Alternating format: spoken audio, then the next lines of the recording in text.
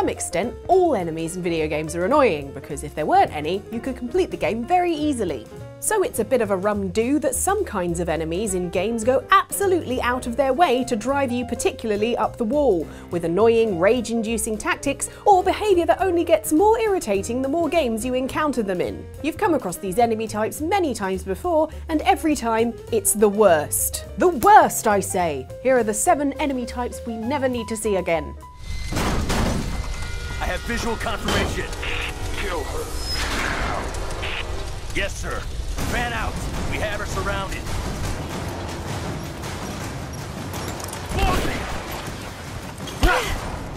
You can tell you're about halfway through a game not by the number of hours played, but by the point at which the game says, hey, looks like you're having a lot of fun, how about every enemy has a riot shield now? Because all too many games now seem to think it's enjoyable to present the player with a shielded enemy. That is to say, the ones who hide behind a gigantic slab of reinforced plastic or steel like a cowardly crab, and render your entire combat strategy thus far obsolete. You said you could take the rest of the day off. I swear. Because apparently this is the kind of mind bending defensive technology that has the canonical genius Spider Man stumped. You're Spider Man, just punch through the shield and into his chest and pull out his heart in front of everyone, and then web his heart to his face. What? Crime would fall. The trick to defeating a shielded enemy is almost always to remember a specific button combination that disarms them or lets you zip behind their defense, so you can fight them normally, or as normal as things can be when one of you is dressed as a bat.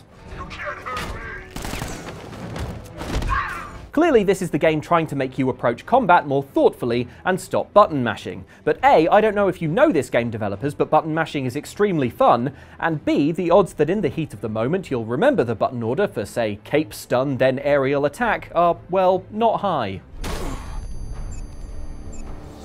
On the plus side, there's nothing more satisfying than getting one over on a foe so cowardly and annoying as to creep up on you from behind a shield like a police issue tortoise. On the minus side, the only reason that's so satisfying is because of all the times you faced a shielded enemy and came off worse, despite there being nothing very special about them. Come on, Nate, you regularly do things like fall out of a plane with no parachute. Surely this clown with a shield is not going to be the thing that prevents you from having a swashbuckling treasure hunt. And yet my buckles remain unswashed. Your buckles? Unswashed! Unswashed. What are those things? Tickers. Locusts use them like landmines, keep your distance. Many players like to take a tactical approach to in game enemies. For example, you might take a moment to size up your opponents, survey the area to work out the best route to take them all down. Or you can do what some of your enemies do and just run very fast before exploding. Hmm. Despite this being a very short route to a very quick and likely painful death, there are plenty of enemies in games willing to run full pelt at you and explode, like an excited dog playing fetch with a stick of dynamite. That was a dark metaphor, Ellen, I hear you say. Well, that was how one of the main characters died in Monarch of the Glen. Wait, you, you've not seen Monarch of the Glen? Nobody's seen Monarch of the Glen! What? Rather than just chuck a grenade or shoot a rocket your way like some boring normal enemy, this lot are far more dedicated.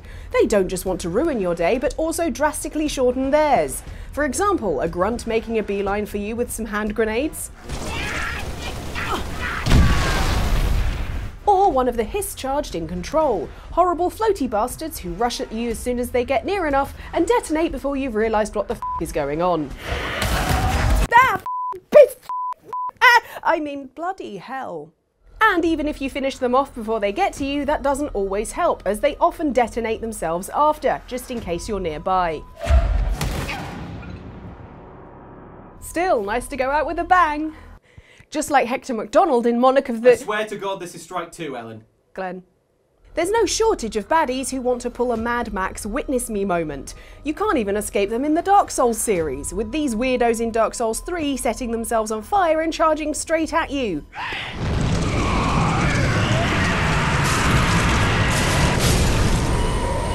All these enemies do is force you to leg it, panic stricken, in the other direction as you try not to share their explosive fate.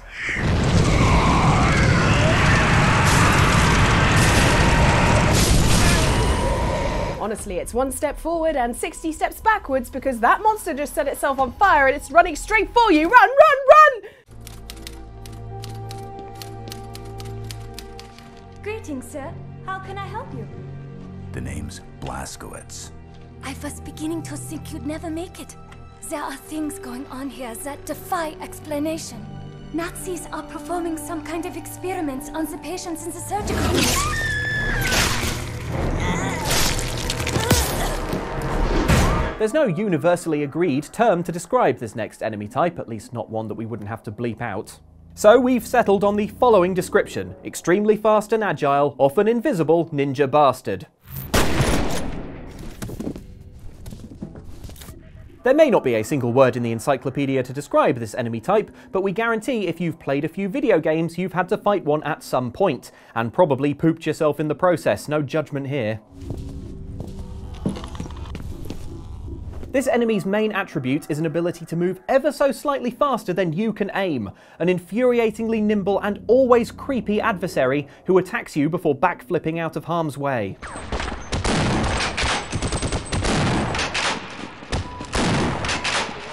The extremely fast and agile, often invisible ninja bastard chips away at your health but drains your ammunition as you unload entire magazines harmlessly into the surrounding environment, trying to clip these miserable creeps.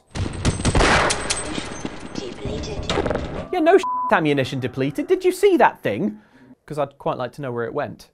Making this enemy even harder and more irritating to fight is the fact that it's often damn scary, sprinting around in a creepy crouch walk or popping invisible to give it a stealth advantage. Gross. And yet, so many game developers see fit to insert this unsettling enemy type into their otherwise enjoyable entertainment products.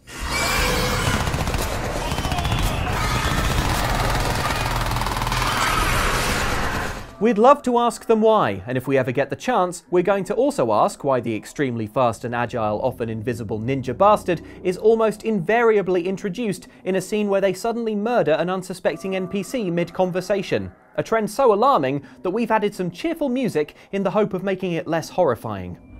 Breathing, right? I've got a message for you. Make sure you don't. That creature stalking the hospital was created by the Nazis.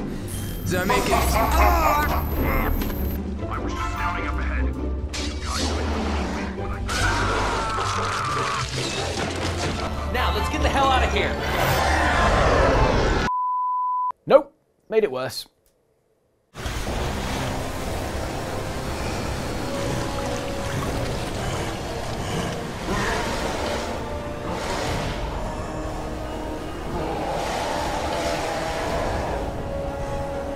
There's one thing video game protagonists love, it's a cool outfit.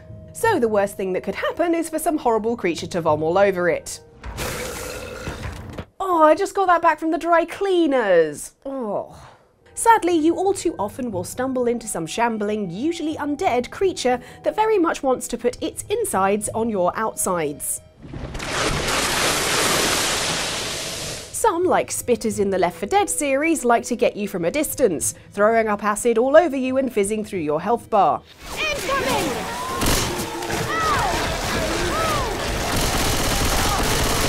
Others, like Weepers in the Dishonored series, like to get up close and personal. Yes, they can hurl at you from a few steps away. But these lot love to grab you and upchuck right in your face like a bird feeding its chicks. Thank God Corvo's wearing his mask, or that plague vomit would be right down his throat. Oh, oh I just thought about it. Oh, oh just give me a sec. Oh, Take all the time you need. thanks. Not content with just throwing up on you to ruin your clothes and your health bar, some even add special status effects. One of the worst examples is again in the Left 4 Dead series, where you can also bump into boomers.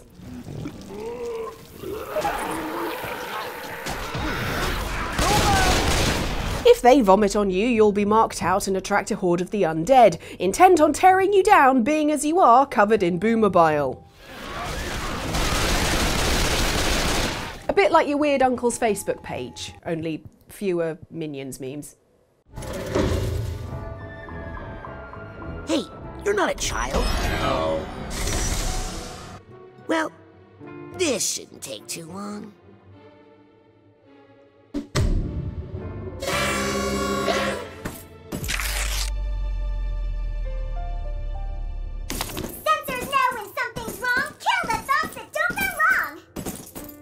Seriously? It's a nice thing to receive a little encouragement, like a text from a friend before a big interview, or even just a co-worker saying that your hair looks nice today. Really, nothing. However, despite the fact that we all understand it's important to receive a little pep rally now and then, we have absolutely no sympathy for video game enemies who enjoy a similar privilege, and even less for those that provide it.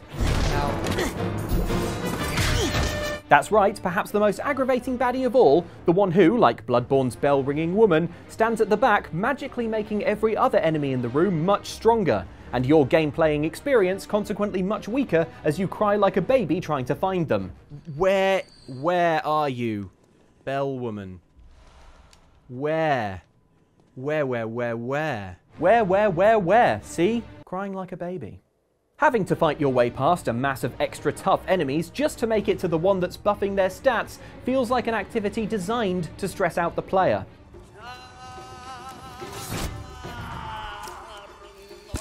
And yet, so many games include this most notorious of enemy types, who are somehow made more, not less annoying, by the fact they're almost always extremely weak when you finally make your way to them. Usually puny baddies with little stick arms, or in the case of Doom Eternal, a literal stick. One of Doom Eternal's buff totems there, which according to the game's codex are incarnal manifestations of human suffering, which feels like an apt summary of the absolutely hated enemy who buffs other enemies. An enemy type you hate, but that is nonetheless encountered in video games in great, great volume.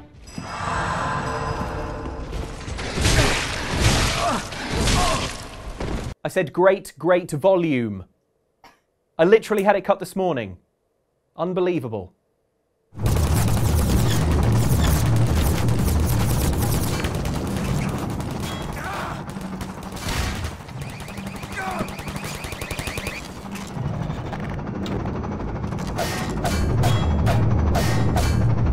Thing about most enemies, even the annoying ones on this list, is that most of them are a good sized target, nice and fleshy, easy and satisfying to stab or shoot. Oh, yeah, I'm going to cancel lunch plans.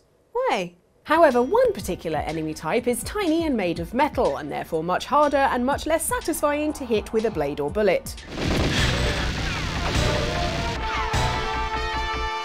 In a word, turrets.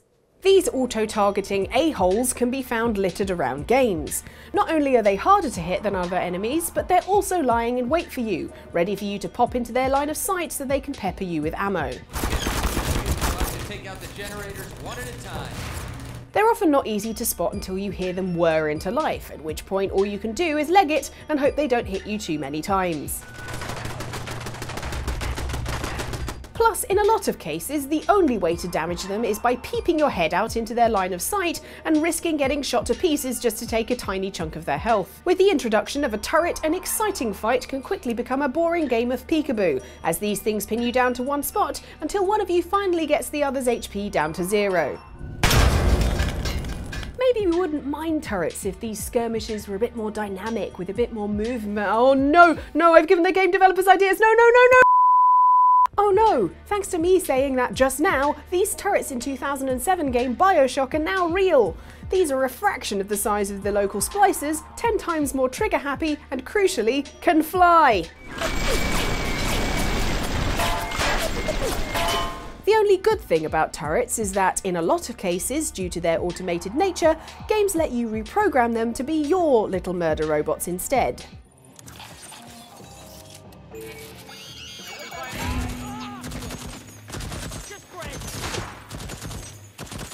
Okay, when they're on my side, they're far less annoying.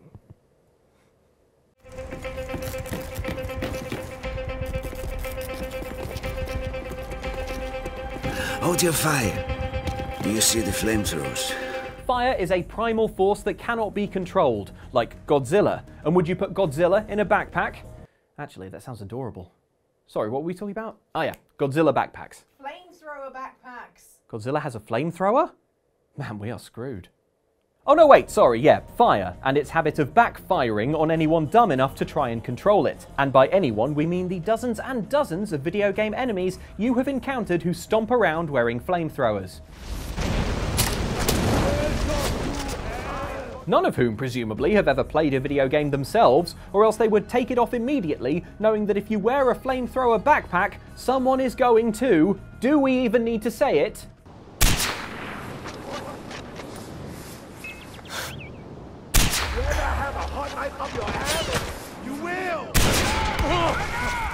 Shoot the fuel tank and explode you. Guess we did need to say it. At this point, this well-worn enemy archetype is so familiar to players, it's not even annoying to encounter a flamethrower enemy. The best we can muster is a faint sense of pity that they drew this duty on this week's henchman rota. Popping around in the fuel tank to see an otherwise fearsome enemy go up like the 4th of July might once have seemed like an ingenious exploitation of a weak point, but the flamethrower dummy has been exploded so many times, in so many games, in this exact way, it's frankly starting to feel a little silly. What really gets us is the seemingly boundless confidence of the flamethrower backpack enemies, who wave their nozzles around looking hard as if they're not one spark away from exploding everything in their vicinity like kerosene drenched clowns. Siphon Filter boss Anton Girdeux even has the temerity to give a villain's monologue for heaven's sake, despite being armed only with what we have to assume is a French accent and the most self-sabotaging weapon setup in video game history. This hall contains a mosaic depicting the entire history of your country's wars and aggression. We are about to make an addition to it. I don't think so, Gurdu. Hmm, and how'd that work out for you, Anton? So those are some of the most annoying enemies that just show up in every single game. We didn't even fight them. They just turn up halfway through. Oh, there's a guy with a shield. You, yeah, there you go. Anyway, which ones are most annoying for you? Let us know in the comments down below. If there are any other ones that always show up that you're like, yeah, these ones are annoying as well, let us know those as well. In the meantime, uh, though, there are lots of other fabulous videos on here that you can go and watch, and why not hit that subscribe or, oh, that's not annoying. Maybe, maybe the ah is.